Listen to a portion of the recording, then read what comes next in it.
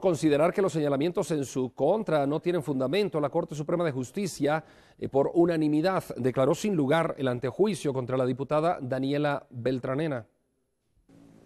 Señalamientos sin fundamento y argumentos es lo que aseguran los representantes de la Corte Suprema de Justicia que hubo en la demanda presentada contra Daniela Beltranena, diputada por el Partido Patriota.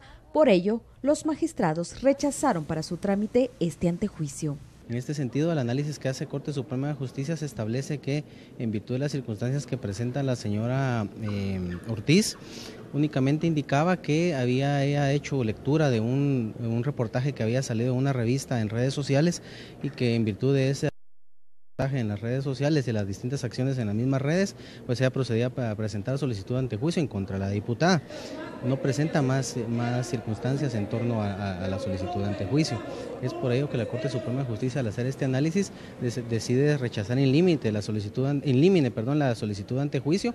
Según la demanda presentada por una abogada ante el Ministerio Público, la congresista de hace un poco más de un mes utilizó sus influencias para colocar 12 plazas fantasmas en aeronáutica civil, hecho que para los del organismo judicial solo son señalamientos basados en medios de comunicación y en una red social. Por ello no consideran que se requiera de una investigación. Telediario, información actual.